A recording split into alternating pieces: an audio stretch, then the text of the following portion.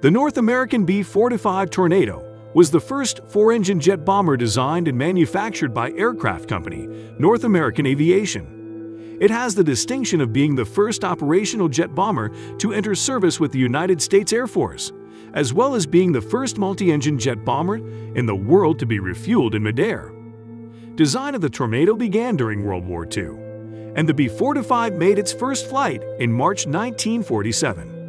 The aircraft had a maximum speed of 570 miles per hour and a range of 1,000 miles with a ceiling of 37,500 feet. The B-45 was an important part of the United States nuclear deterrent for several years in the early 1950s, but was replaced by the Boeing B-47 Stratojet when it came into the USAF fleet. The B-45 served in the Korean War, in which it provided its value as a bomber and as a reconnaissance aircraft.